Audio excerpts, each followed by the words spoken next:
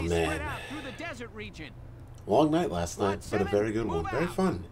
And now I'm trying to get this video in because the Eagles are going to be coming on soon. You know, the whole NFL football thing can't be a social reject.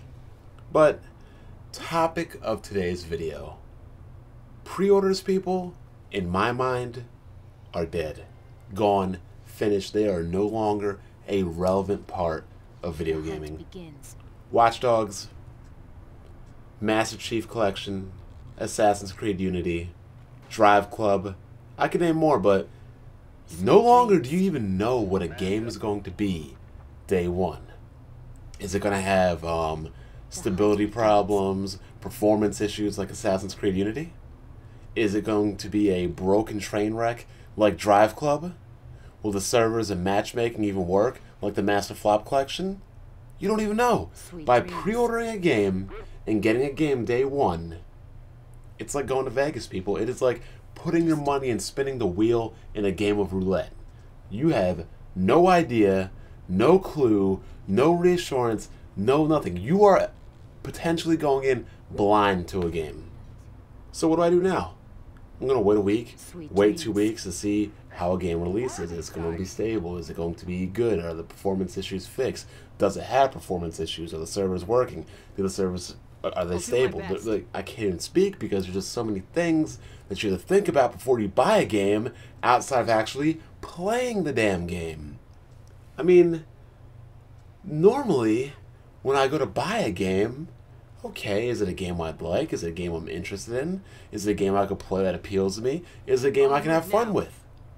Now I gotta wonder, hmm, are the servers going to be working day one? Are the servers even going to be working? Are the servers stable? Does the game have performance issues? Does the game have stability issues? Does it support SLI? Does it do this? Does it do that? Is it broken upon release? Does the game even work? Like, these are things as a consumer I should not have to worry about.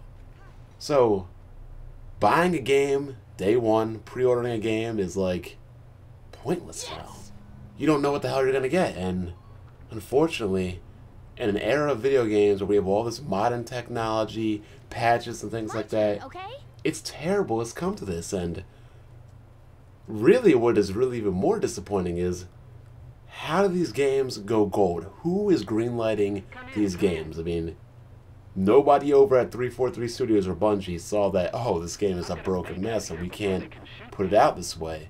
Nobody over at Ubisoft saw that the frame rate in Assassin's Creed Unity was twice as cinematic as cinematic.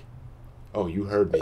You like your whole cinematic experience? Well, you're going to get that double when it comes to Assassin's Creed Unity. Nobody is like looking at these releases and saying, hold up, maybe we need to delay it or push it back a couple weeks, you know, so we can polish it, fix this up. Because in the end, all you're doing is damaging your brand. That is all you're doing.